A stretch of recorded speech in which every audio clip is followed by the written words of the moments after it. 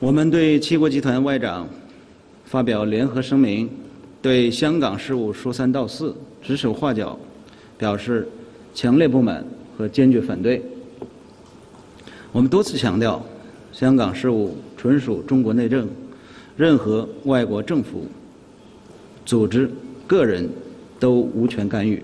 中方推进涉港国安立法的决心坚定不移。我奉劝有关方面好好的学一学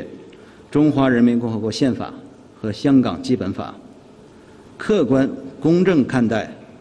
涉港国安立法，遵守国际法和国际关系基本准则，停止插手香港事务，干涉中国内政。